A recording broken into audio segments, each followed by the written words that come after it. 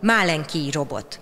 A második világháborút követően a szovjet katonák ennek az orosz kifejezésnek ismételgetésével hurcolták el a magyar polgári lakosság tömegeit a szovjet lágerekbe.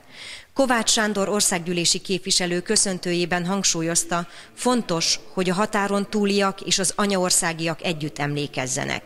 Bocskor Andrea európai parlamenti képviselő elmondta, a kiállítás célja, hogy Kárpátaljáról ne csak az orosz-ukrán konfliktus kapcsán beszéljenek, hanem ismerjék meg a múltját is.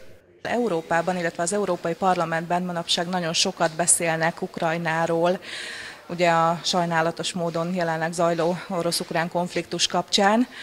Egy picit érzékeltessem azt, hogy nem csak ez a része, nem csak ez a vonatkozása létezik Kárpátaljának, hogy ennek a nagy háborús konfliktusban álló országnak a része, hanem van egy olyan kis szegmense, hogy mint kárpátaljai magyarság, kárpátaljai magyar közösség, melynek a múltja és történelme szervesen a magyar nemzet részét és a magyar történelem részét képezi.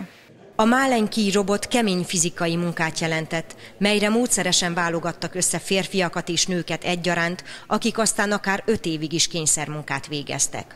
Az elhurcoltakról az itthon maradottak csak elvétve jutottak információhoz. 28 ezer kárpátaljai került a sztálini lágerekbe az elhurcoltatnak legalább az egyharmada oda maradt.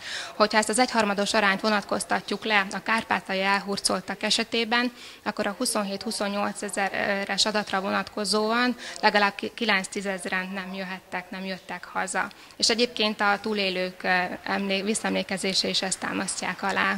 A kiállítást augusztus 26-áig hétköznapokon 8 és 16 óra között, hétvégén 10-től 16 óráig tekinthetik meg az érdeklődők a Máté Szalkai Szatmári Múzeumban.